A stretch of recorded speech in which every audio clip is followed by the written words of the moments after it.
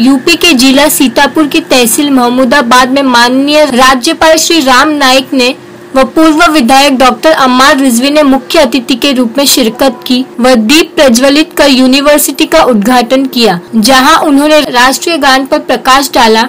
उन्होंने कहा कि जो मेरे लायक है, वो वो काम मैं खुद करूँगा तथा यूनिवर्सिटी को लेकर माननीय मुख्यमंत्री श्री आदित्यनाथ योगी जी सन्मुख प्रस्ताव रखने की बात कही।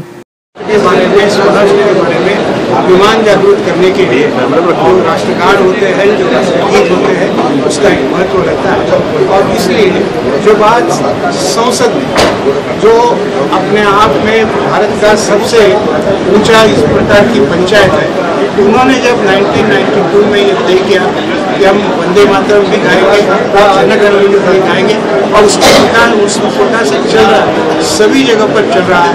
अभी अभी देखा होगा तो उत्तर प्रदेश में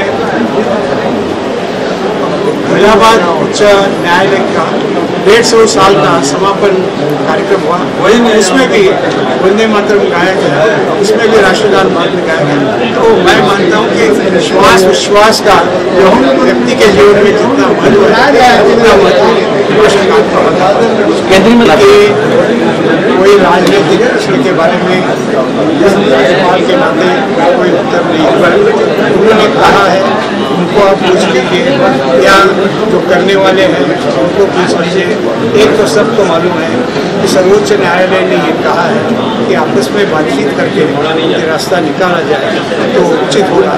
मैं मानता हूँ कि इसका सम्यक ज्ञान सर्वोच्च न्यायालय के पास है और उन्होंने जो सलाह दी है, उसके अनुसार सबने काम करना चाहिए जो सारा देखते हैं, उनकी काल मर्यादा केवल तीन वर्ष की होती है।